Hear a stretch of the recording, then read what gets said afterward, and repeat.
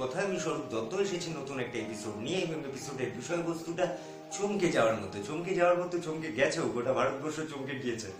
কারণ বলিউড অ্যাক্ট্রেস সানা খান বলিউডের অভিনেত্রী, জনপ্রিয় অভিনেত্রী, বেশ পরিচিত মুখ, বহু ছবিতে তাকে দেখা গিয়েছে রিয়েলিটি শোতে তাকে দেখা গিয়েছে।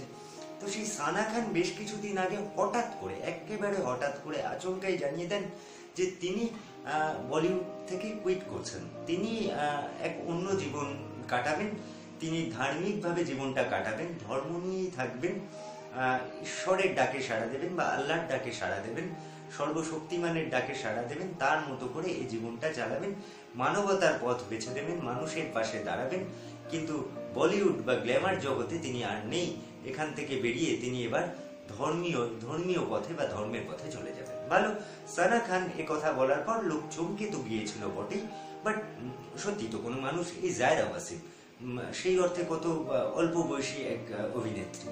তিনিও হঠাৎ করে কুইট করেছেন এই অভিনয় জগৎ- জগৎ থেকে। ধর্মীয় কারণেই দেখিয়েছেন, বলেছেন যে আমি আমার মন আর সায় দিচ্ছে না, বলিউড, এই গ্ল্যামার, এই এত কিছু।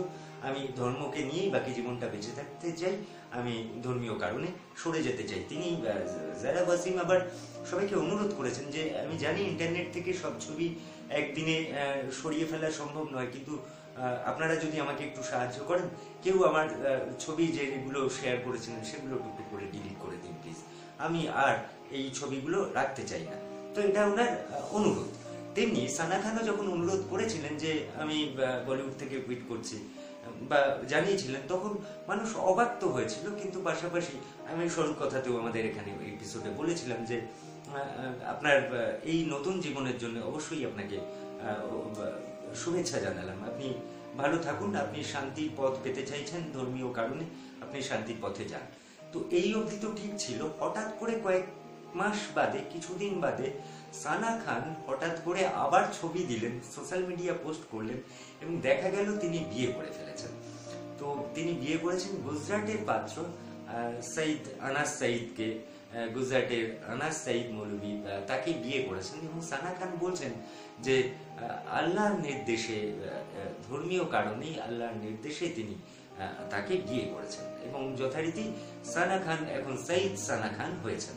বলে নিজের ছবি পোস্ট করেছেন নতুন বধূ বেশে যেরকম ছবি হয়, নতুন বউ সাজে, সেরকম ছবি পোস্ট করেছেন। তাকে দেখতে সুন্দর লাগছে, তিনি ভালো আছেন সব তো গেল সমস্যাটা হলো যে, সানা খান বলেছিলেন যে, আমি বলিউডে আর থাকব না কুইট করছি বলিউড বলে আমি ধর্মীয় কারণে, আমি ধর্মকর্ম নিয়েই থাকব, এসবগুলো বলেছিলেন। তো লোক একরকম একটা ভাবনা ভেবে নিয়েছিল সানা খান সম্পর্কে। এইবার সেই সানা খানকেই যখন কয়েক মাস বাদে, কিছুদিন বাদে দেখছেন যে তিনি বিয়ে করেছেন, বিয়ে করে তার ছবি পোস্ট করছেন, তখন কিন্তু সোশ্যাল মিডিয়ায় ট্রোল হচ্ছে। সোশ্যাল মিডিয়ায় নেট নাগরিকরা তো প্রচণ্ড বেশি কি বলি অ্যাগ্রেসিভ এদের আগ্রাসনটা বড্ড বেশি। আপনার কোনো জিনিস যদি পছন্দ না হয়, তাহলে হাড়ে রে রে রে রে করে তেড়ে ওঠে। তো নেট নাগরিকরা কিন্তু কিছুতেই ছাড়ছেন না। তারা সানা খানকে ট্রোল করা শুরু করেছেন। এই যে বললেন, ধর্মকর্ম নিয়ে থাকব, আর এই তো দেখছি বিয়ে করে বসে আছেন। তো আমি জানি না সানা খান এর উত্তর ঠিকঠাক দিতে পারতেন, তবে বিষয়টা একটু কেমন লেগেছে, কারণ আমরা বোধহয় ধর্মের মধ্যে বিয়েকে রাখতে পারি না। মানে একটা মানুষ ধর্ম নিয়ে থাকবেন, এটা বলার পর আমরা এক্সপেক্ট করি না যে তিনি এবার গিয়ে বিয়ে করে ফেলছেন। তো সানা খান এরকম একটা কাজ করেছেন যেটা সাধারণ মানুষের নিতে অসুবিধে হচ্ছে তাই সানা খান যখন নিজের নতুন ছবি বিয়ের পর পোস্ট করছেন, তাই সোশ্যাল মিডিয়া এত ট্রোল হচ্ছে। যাক, আজকের মতো স্বরূপ কথা এখানে শেষ। আপনারা দেখতে থাকবেন স্বরূপ কথা। লাইক করুন কমেন্ট করুন শেয়ার করুন, আর অবশ্যই চ্যানেলটাকে সাবস্ক্রাইব করুন। নমস্কার, ভালো থাকবেন।